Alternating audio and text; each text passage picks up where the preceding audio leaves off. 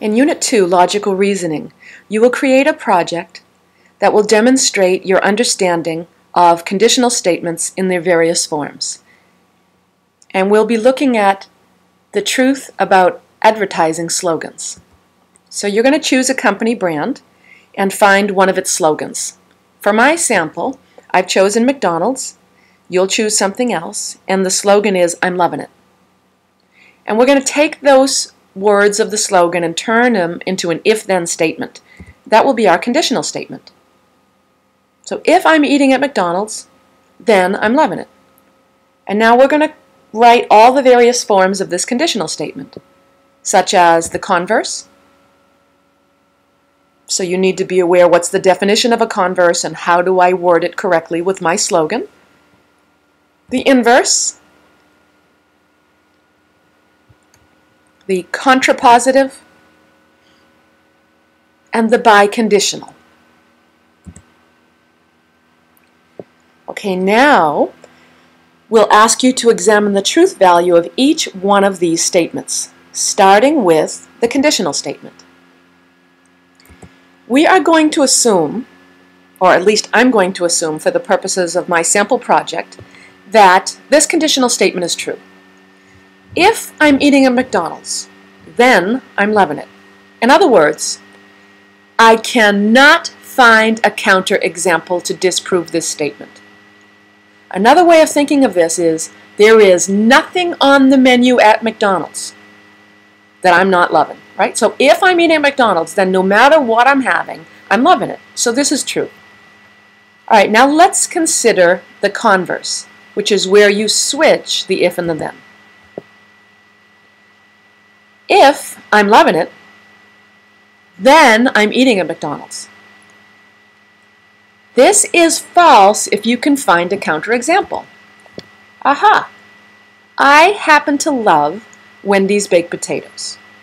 So that is a counterexample because if I'm loving it and I'm eating a Wendy's baked potato, then you know what?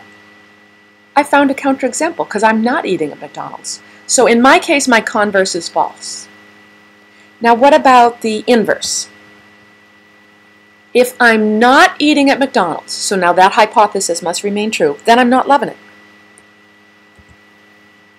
Well, there's an example of a thing that I'm I'm not eating at McDonald's, right? If I'm having a Dairy Queen Blizzard, but my conclusion is false because I am loving it. I love Dairy Queen Blizzards.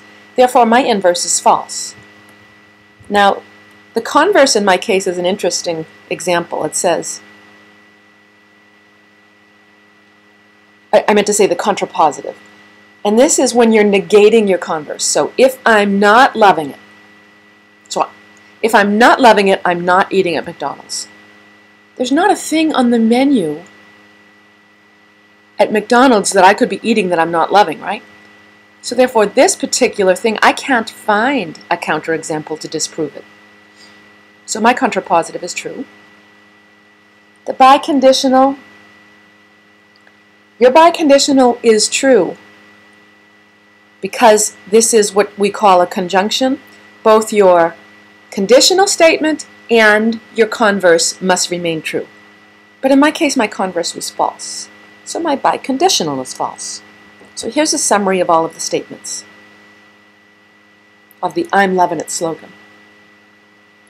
Okay, now in my project, I thought it would be interesting to look up the history of the slogan, and I it turned out it um, this ad campaign launched in Germany uh, with just three simple words, Ich liebe es, and that translates into I'm loving it. So the American companies decided to use it, and it's been popular ever since. And here's my take on the slogan. This is just my personal opinion. I feel like it's really catchy. It's doubtful, however, that I would go to McDonald's simply based on that ad slogan alone. I had history with McDonald's before this slogan came about.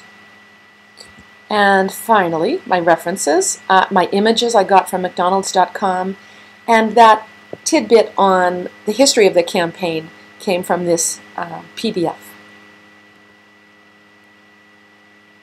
So have fun with your project. You can make a PowerPoint, you can make a flip chart, you can use Prezi to do a web-based slideshow.